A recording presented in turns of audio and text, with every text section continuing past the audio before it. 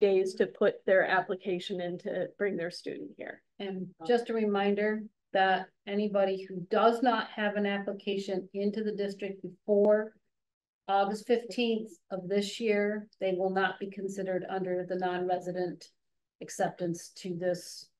For the process twenty-four, that we're doing. twenty-five, yeah. Yes. Yeah. But they, they too will only be allowed to attend for the one 24, 25 school year. If And the app- after that right. point, we will not be accepting any Right. other non-resident students with the exception of employees. Right. Does that make sense? Percent. Just wanted to make sure that somebody out there.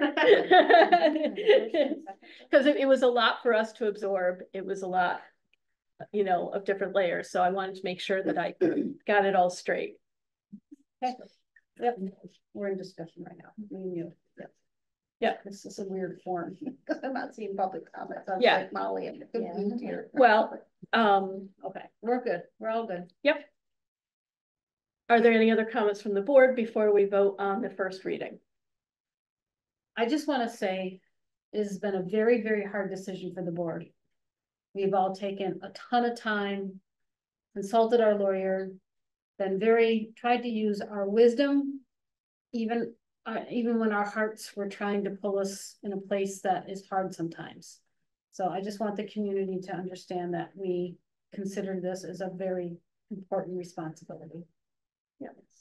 But first and foremost, We need to take care of our students. we need to take, take care of the students who reside within the district. Right. Yep. Okay, all those in favor? Aye. Any opposed? Any abstain? Um. We don't have a comments from the public set in here. Um, however, if there's any, because we, we did kind of include you in there, which we don't normally do, but because it was you. I mean, I mean, just one Because you're person. here, yes. You're, and, and you're in front of You're- us. You're Um, public. But that being said, is there any other comment you'd like to make? No, I'm just, I'm just thankful you guys are doing this because, I mean, long story short, Reese, I call him Reese, name's Reese, but I call him Reese.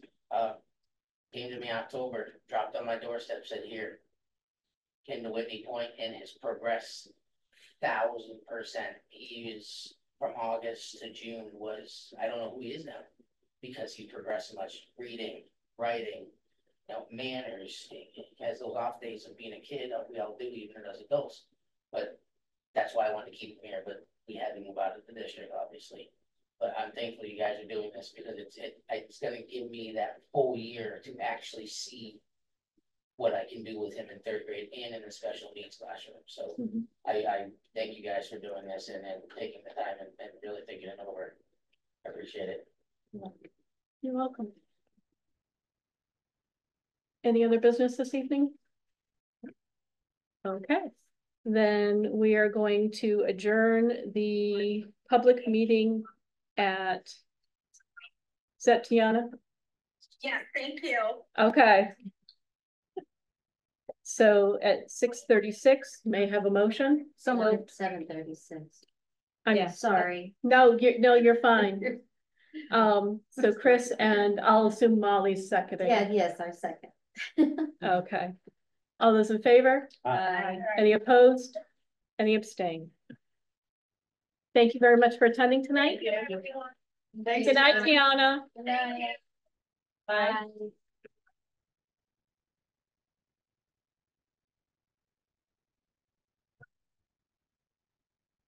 Thank you for staying so late, Joanne.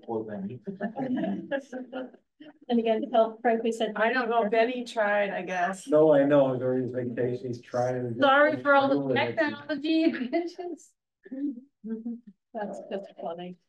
Here, Chris. For the first time today, I'm actually cold. Yeah, I know, I'm getting my. I, I've been sweating all day. Hot day. Huh? You're the exception. Well, no, it's funny because right behind my desk, there's an AC vent. And normally like when nobody's going in and out of the door, I start getting cold. Going As yeah, soon as somebody being goes out out the the door, door. yeah. Yeah. After we do second policy and we vote, then we can bring the policy back forward to clarify the level of employees that get the benefits. Well, Oh, well, no, we need to know by second reading.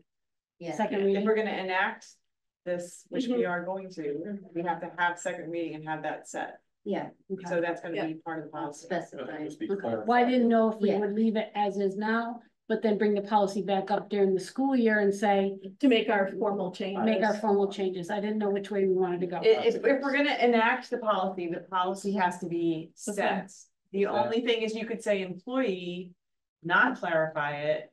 And then at another time amended to say full-time if you wanted to. Okay. I mean, we don't really, we don't have any part-time employees that Right, it's not children here, affecting anyone. not right now.